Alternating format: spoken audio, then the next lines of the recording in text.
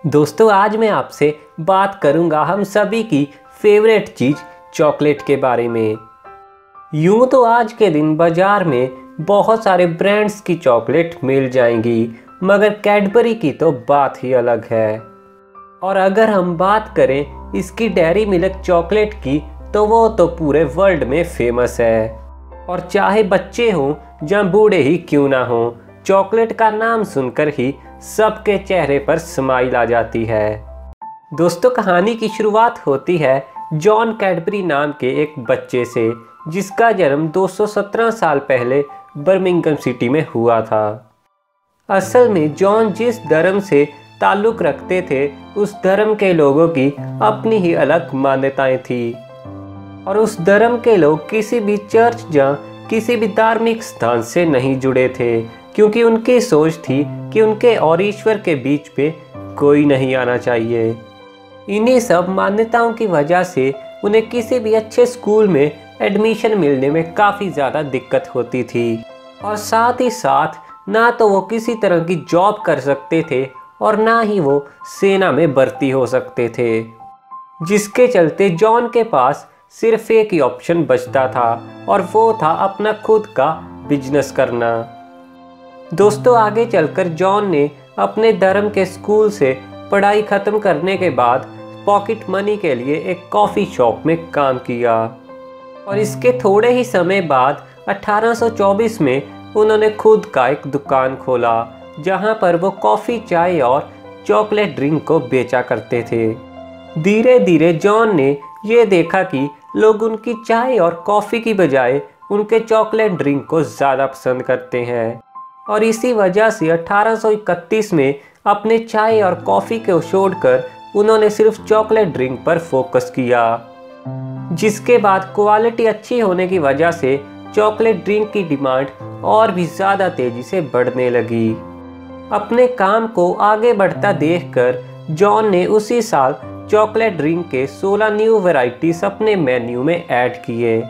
देखते ही देखते अगले 15 सालों में जॉन अपने एरिया में स्पेशल कैडबरी चॉकलेट ड्रिंक के लिए काफ़ी ज़्यादा फ़ेमस हो गए। दोस्तों, इसके बाद आगे चलकर जॉन ने अठारह सौ सैंतालीस में अपने भाई बेंजामिन को भी इस बिज़नेस में शामिल किया और उन दोनों ने मिलकर ब्रिज स्टेट पर एक बहुत बड़ा कारखाना खोला।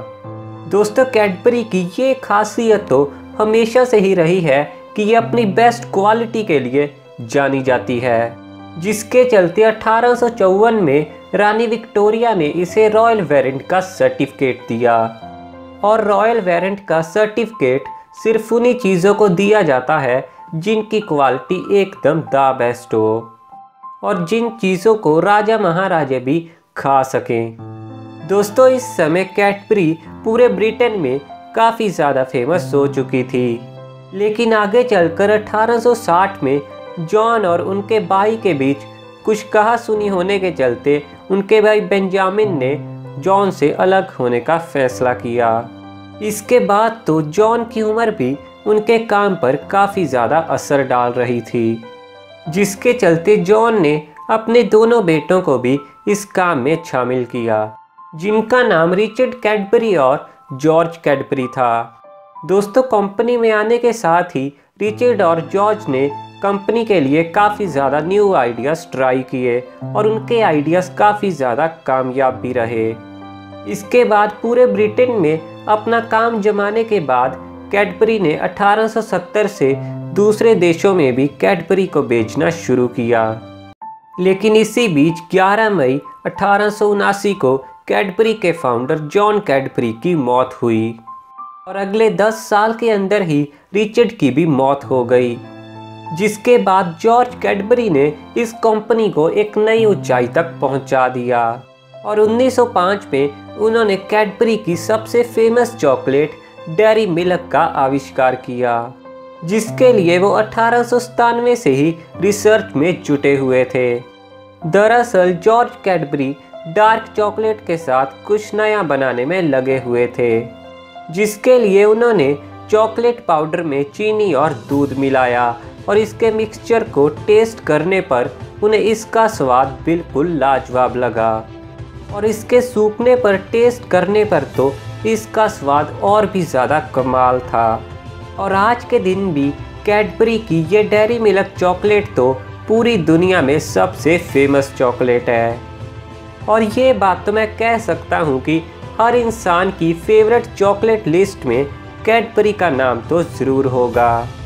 इसके बाद आगे चलकर 1948 में कैडबरी ने पहली बार इंडिया में अपनी चॉकलेट्स बेचना शुरू किया। और आज के दिन तो दुनिया के 55 से भी ज़्यादा देशों में कैडबरी का पूरी तरह से बोलबाला है। दोस्तों, इस वीडियो को लाइक करके आप हमें मोटिवेट कर सकते हैं और दूसरों को भी मोटिवेट करने के लिए इस वीडियो को शेयर ज़रूर करना।